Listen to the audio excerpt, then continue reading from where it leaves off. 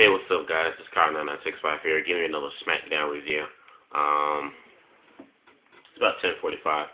Um, got home kind of late, uh, but I had recorded SmackDown on the DVR, but I did watch it tonight. Um, but before I get into my SmackDown review, I just want to let you guys know I picked up Beast Wars Transformers. I recommend you guys pick this up. I like the, I, um, I like buying uh, different old cartoons that I grow up watching when I was a kid, like Sonic the Hedgehog. I have a whole collection series of uh, Teenage Mutant Ninja Turtles. But I bought this today, Beast Wars, the complete first season. Comes with uh, one, two, three. Comes with four discs. So, um, and altogether it's like 10 hours uh, worth of episodes on here altogether. So the complete first season, four disc of Beast Wars for $20 I bought at Target. You can't beat that. So if you guys were fans, ever fans of Transformers or Beast Wars and like watching the stuff that you used to watch growing up as kids, I recommend you pick this up. Like I said, for four discs, complete first season, twenty dollars at Target or Walmart, not bad. Also, the SmackDown review. Um, so SmackDown opened up uh, with Johnny Ace and Teddy Long talking about uh, Battle Royal, and the winner of the Battle Royal will get a World Championship title match later that night of their choosing. So it was like I think 41, 41 man Battle Royal, which Randy Orton won and Randy Orton decided to choose uh, to face Mark Henry for the World Heavyweight Championship. Uh, after that, the next match we had was uh, oh god, I can't, I forgot the first match. Uh, I think the well, the Battle Royal was the first match, but the match after that was uh, Kelly Kelly versus uh, Beth Phoenix. Nothing special, didn't last long. Beth Phoenix gets the victory on Kelly Kelly after that, we get a match with uh, uh, Sin Cara.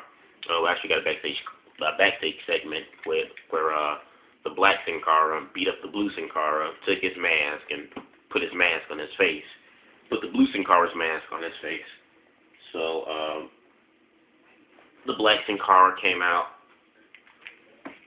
The black Sin Cara came out and uh, beat Justin Gabriel. Um, I don't know why, but they seem to have Justin Gabriel now. It's like a jobber, which I think would be completely utterly stupid because Justin Gabriel is a great talent. Um, anyway, after that we got a match with um, Sheamus versus Alberto Del Rio. I thought this was a really good match. I thought it was the best match on the entire card. Um, so I like this match a lot.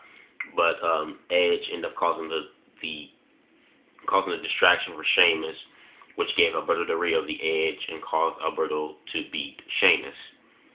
Then after that, we got into a tag match with Kofi Kingston and Zack Ryder versus Dolph Ziggler and um, Jack Swagger. Um, this match was good. Um, one thing I can't say about Jack, uh, not Jack Swagger, but um, Zack Ryder is that uh, I, I see something in Zack Ryder. I, I like Zack Ryder. He's starting to grow on me. Um, you know, some people may consider him overrated. Some people consider Zack Ryder underrated. Um, I, I I'm not on either side. I don't think he's underrated, but I don't think he's overrated either. I don't know. I'm kind of like in between, um, so I can't really judge. But um, Zack Ryder, I, I definitely see. I think he can definitely be a crowd favorite, and he's not a bad wrestler. I think he's a good wrestler, and uh, I like his character. I think his character is uh, is pretty funny. Um, you know, it's funny and it's it's a character that a lot of people can get behind and enjoy. You know, he's like the he's a surfer boy, kind of like type of gimmick that he has. Woo woo woo, you know it. Um, but Kofi Kingston and Zack Ryder ended up getting this match. Um, like I said, it was a good match for what it was. Um, I don't know if I can just. One thing I can say though, I don't know if I can get used to Jack Swagger and Dolph Ziggler being together as a cohesive tag team. It just, I don't know Dolph, Dolph Ziggler and uh, Jack Swagger don't really, to me, I don't think complement each other very well as a tag team. But um, you know, I like Jack Swagger a lot. I like Dolph Ziggler a lot too. Um, definitely, believe these guys are going to be future, you know, main eventers, world world champions. Although Swagger was already a former world champion, and so was Ziggler, but it's forgot it's forgotten um, from a lot of people. But anyway, um, you know, if if putting Jack Swagger on the tag team with Dolph Ziggler, if that's the way of WWE to, if that's the way to keep Jack Swagger relevant and to keep him on TV, then I say go ahead, go ahead and do it. But I just, I just can't get behind Ziggler and Swagger as a tag team like I can Miz and Truth. Now Miz and Truth I think complement each other very well because of their characters. They just complement each other very well as a tag team. But Swagger and Ziggler, uh, I don't know. But anyway, um, then after that we got to the main event: Randy Orton versus uh, Mark Henry for the world for the world championship.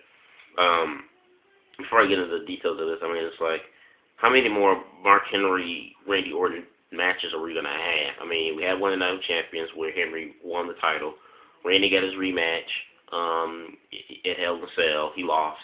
And, you know, since then they've been kind of fighting off and on, not having like official matches, but just fighting off and on. I mean, like, I don't know about you guys, but I, let somebody else fight Mark Henry for the world title or get into a feud with Mark Henry. And I know he's got a thing with Big Show going on to the pay per view um, in the next couple of weeks at Vengeance. But I mean, like, besides Big Show, like, put Sheamus in there, you know, or something.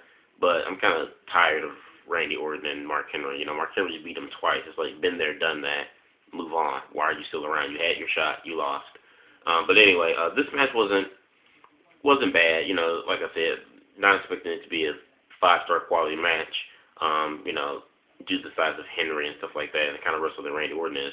Not saying Randy's bad. I think Randy's one of the best wrestlers in in this generation today. But um, like I said, this this match wasn't bad. It wasn't like a snore fest. I actually think this match that they had tonight on SmackDown was better than the one that they had tonight of Champions. I don't know. Some people can agree with me on that or not agree, but I just I thought this match was better. But anyway, um, Mark Henry just dominating Randy Orton as usual. Cody Rhodes comes in, uh, you know, calls a disqualification for the match. So you know, obviously, you know, Henry's still the champ. And that's Cody Rhodes and Mark Henry double up, double teaming on uh, Randy Orton. Big Show comes in, and Big Show beats up on Mark Henry and uh, and beat up on Cody Rhodes, and the show just ends with uh, Big Show giving Mark Henry a choke slam for the second week in a row, and that's it.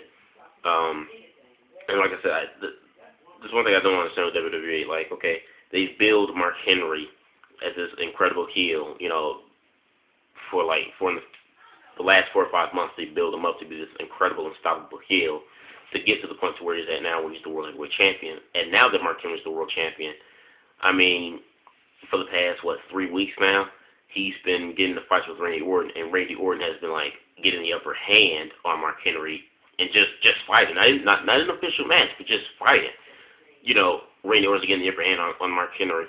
Uh, Mark Henry got the crap beat out of him, got destroyed by Big Show last Friday on SmackDown, and then tonight he gets beaten up by Randy Orton and Big Show again tonight on SmackDown.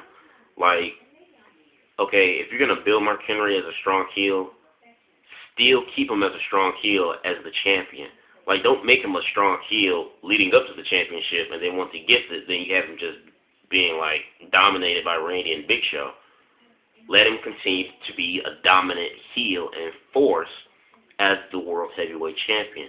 And I think by you know having Big Show have the last stand, or, or you know, or, or beat Mark Henry, you know, for the past two weeks, and then have Randy Orton, you know, have the Randy Orton has his, you know, his out outrage, you know, temper tantrums that he has, you know, getting the upper hand on Mark Henry here and there. It take it takes it takes steam away from Mark Henry's like ginormous monster like heel persona that he's given. I just think it just takes steam from that. But like I said, all in all, I thought SmackDown was okay. Um, it wasn't uh, it wasn't a snore fest or anything like that. Um, but it wasn't like the best SmackDown either. But it was it was good. I'll just say that it was good.